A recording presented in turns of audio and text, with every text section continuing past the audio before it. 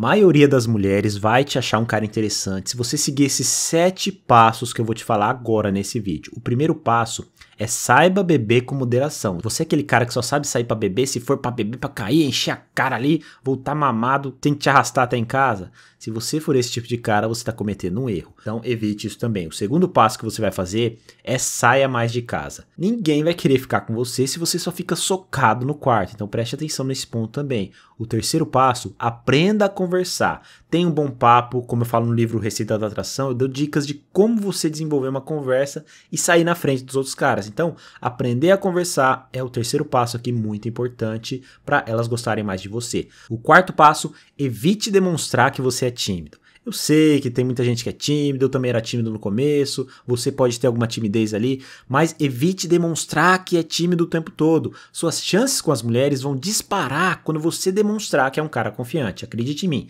O quinto passo, frequente lugares diferentes. Você é aquele cara, ah, vamos sair sexta-feira, vai pro mesmo lugar. Ah, vamos sair terça-feira, vamos pro barzinho, ah, vamos pra casa do fulano. Toda vez a mesma coisa. Frequente lugares diferentes, conheça pessoas novas, que as suas chances com as mulheres vão aumentar mais. O sexto passo muito importante, saiba surpreender uma mulher. Você é aquele cara que não faz surpresa, é aquele cara previsível, a mulher já te conhece, já sabe tudo que você faz, você não inova, você não surpreende uma mulher. Se você fazer uma surpresa com algo que ela gosta, ela vai gostar de você bem mais.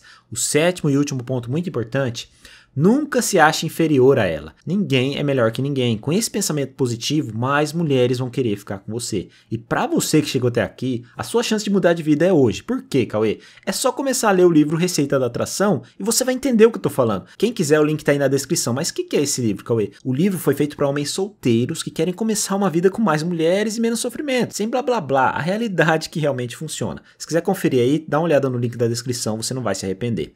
Meu nome é Cauê e eu tô aqui para ajudar você. Um grande abraço, tamo junto.